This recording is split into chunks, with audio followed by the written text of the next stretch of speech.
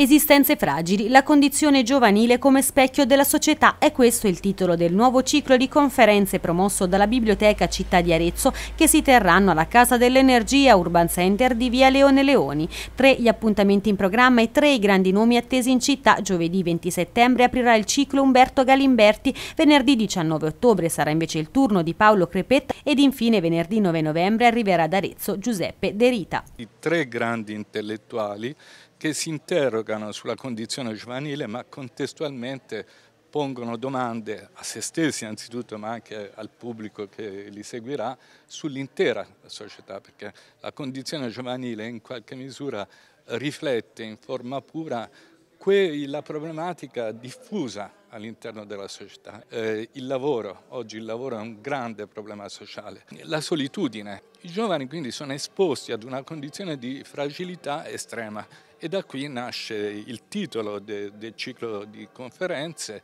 Ci siamo voluti concentrare su questo tipo di, di mission, diciamo, cioè una sensibilizzazione culturale sulle fasce giovanili ma anche diciamo, una chiamata alle cittadinanza intera, anche perché noi vogliamo fare esclusioni.